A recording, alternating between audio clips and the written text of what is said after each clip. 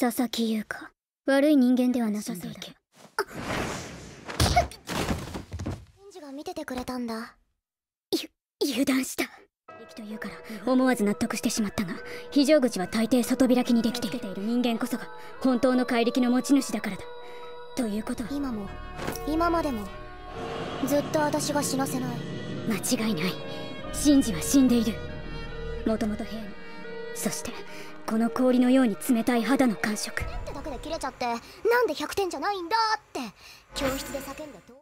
でも私には優しいんだ。あの日も楽しかったな。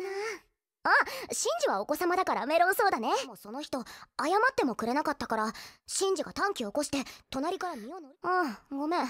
話の途中だったね。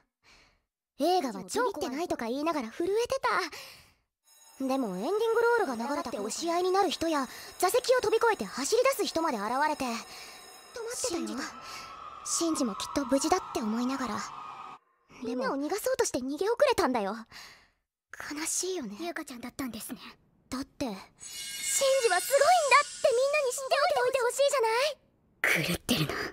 ごめんごめん。こいつは俺の寝込みを襲って首にその針を刺したんだ周りを見ることができると言っていたなでもその後何食うのだから夜に待ち伏せして確かめてやろうって話になったんだすぐにお前の恋人の後を追ってくるとか言ってたからな。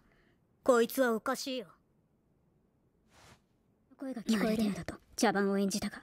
優香もずっとふざけた人形劇まだ針を持ってるぞ。ありがとうシンジ。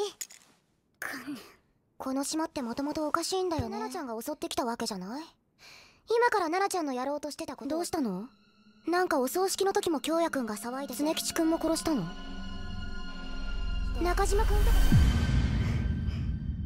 はい。そうです。